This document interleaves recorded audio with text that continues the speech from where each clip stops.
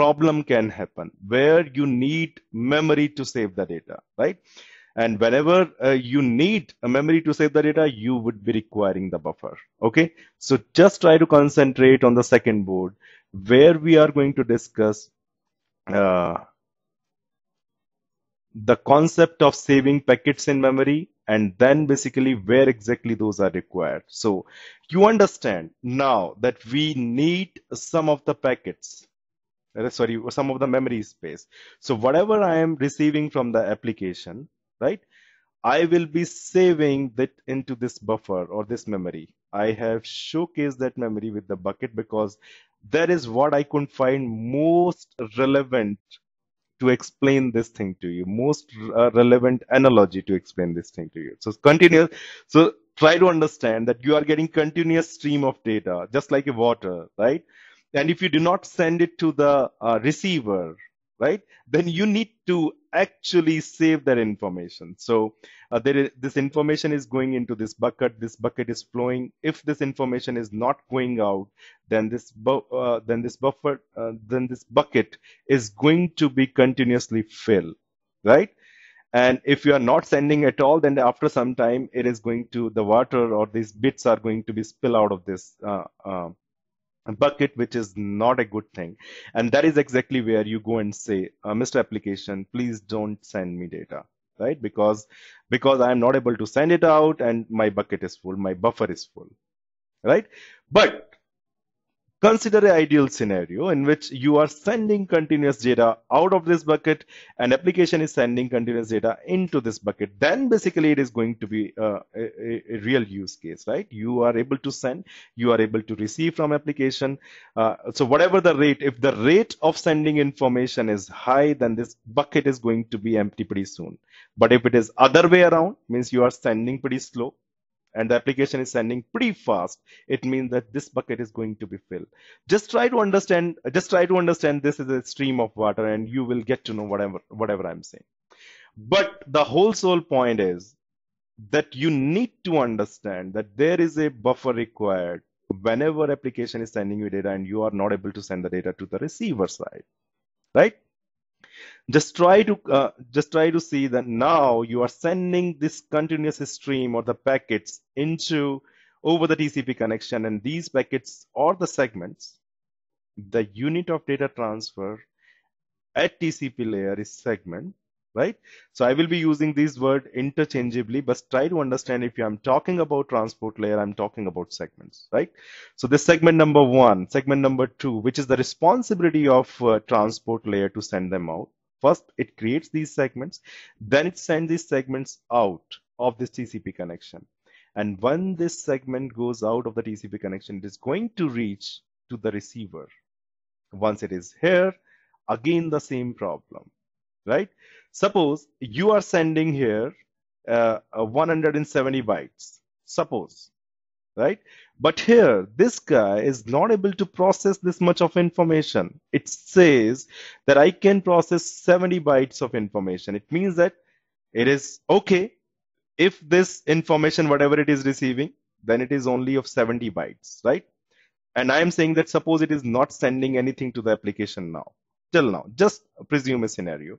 It means that after 70 bytes, this bucket is going to be filled. And if you send more information than 70 byte this bucket is going to drop that information which is not going to be good. So the good thing is that there must be something through which this receiving TCP or the receiving transport layer should inform the sending transport layer that do not send me more than 70 byte of data right? But yes as soon as this data whatever it is in bucket suppose this application takes the suppose 20 bytes of data then of, of course here now 20 bytes is free right? 50 bytes is the still the still in the bucket. So 20 bytes are free. So this guy can inform that now previously i was saying do not send me right? Do not send me anything. But now i can say in some other message that please do send me at least 20 bytes of data because now i can process because now my application has took my application has took uh, some of the data out of my bucket, right?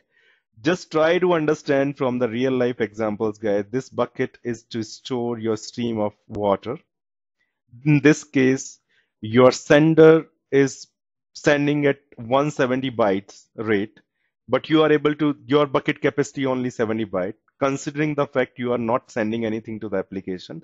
If this bucket is full, you can inform the sender that do not send me anything, right? As soon as this application is trying to pull that data out of this bucket, right?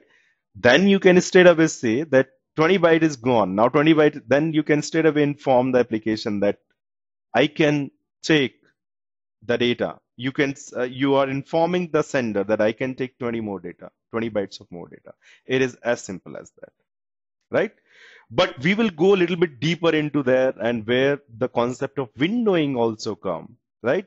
But believe me, these things are important to understand. If you understand this much, the concepts of windowing and the flow control are going to be pretty easy.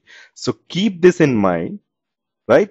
And now we are going to discuss where exactly these buffers are going to be required, right? Although you know that one buffer is required at the sender side, one buffer is required at the receiver side because these are the places where you need to inform the where you need to store some of the information, right?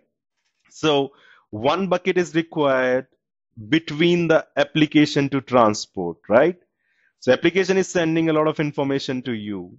And if you are not able to send that information out, you need to buffer that information. And that is called uh, the buffer at the sender side, right? Now you are sending some segments out of this TCP connection. Suppose this is this can send 100 bytes of information. This can receive 70 byte of information. It means that uh, after 70 byte of information, it can straight away spill it out, right? Or basically it can save something, right? So you need to implement a buffer or a bucket of a bigger size. So one bucket when at the sender side, when application is sending something to you, one buffer at the transport layer of the receiver side where you are sending uh, some information to you, right? Now there, you can argue with me that why there is no buffer when this application, when uh, when you are sending some application uh, data to the application, right? That is not uh, the case of our discussion because here, whatever we are saying, right? Application is pushing data to the transport layer at the sender side. Now your transport layer is pushing data to the a destination or the receiver side. So wherever there is a push from the other side, we implement buffer because you never know how much the data can come to you. But at the receiver side or the destination, the application actually pulls the data from your bucket, your transport layer. And if it is pulling the data, it is up to the application because application, if see, if it is free, it is, it is going to take the data, otherwise not. It is as simple as that. So in case of pull mechanism, we do not require any buffer because it is the application responsibility, how much it wants to. So whenever it is free, it is getting some data out of this bucket. So no bucket uh, is required in the flow between transport layer to application at the receiver side right? So now, what exactly we are going to discuss? We are going to discuss only this buffer, only this buffer. And the reason is we are not, uh, we are not going to concentrate much on uh, the flow control between application and the transport layer. We are only going to discuss the flow control between TCPs, right? Between sender TCP and the receiver TCP. And who is controlling that? Only this bucket, right? So this bucket is not going to be required between application and transport, right? And the reason is we are not going to discuss it. That this is this doesn't comes uh, into the uh, what we can say into the area of TCP, right? Although it is implemented. So just I was just trying to give you an analogy where these buffers are required. Actually, this buffer is required, but we are not going to explain it. We are just talking about the flow control between sender transport and the receiver transport, and that is it. And receiver transport is going to control how much data the sender should send. Uh, and if it required to send this, it is going to save this into the buffer. Similarly, the receiver is going to send some data and the sender is going to uh, store that information and that is why one buffer there. So I am pretty sure till this point you should understand, you know that there is a requirement of buffers, right? And which we are uh, implementing. And we are going to discuss uh, the flow control between sender transport and the receiver transport. Okay. So enough on this buffering part. Uh, now let's actually, and, and I would like to uh, say, please have this concept in your memory, in your buffer, so that whenever we, uh, whenever we are going to come to the flow control topic, uh, this, these things should be in your mind. Okay. So having said that, let's go and talk about data transfer. Okay. Again, pretty interesting thing. So you all know we have discussed till this point, right? And what is this point? We have one client here, any client, and we have server here. These two guys want to talk uh, to each other. So first thing first, what they are going to say, they are going to create a TCP three-way handshake, which is just nothing client is here, server is here. Client is saying, Mr. Server, you are there. If you are there, I want to send some of the messages using this sequence number, right? The sequence number is going to start from this guy. Server is saying, yes, I am here. Uh, and I want to send some information because this is a two-way communication. Client is sending some data to server. Server is going to send some data to the client.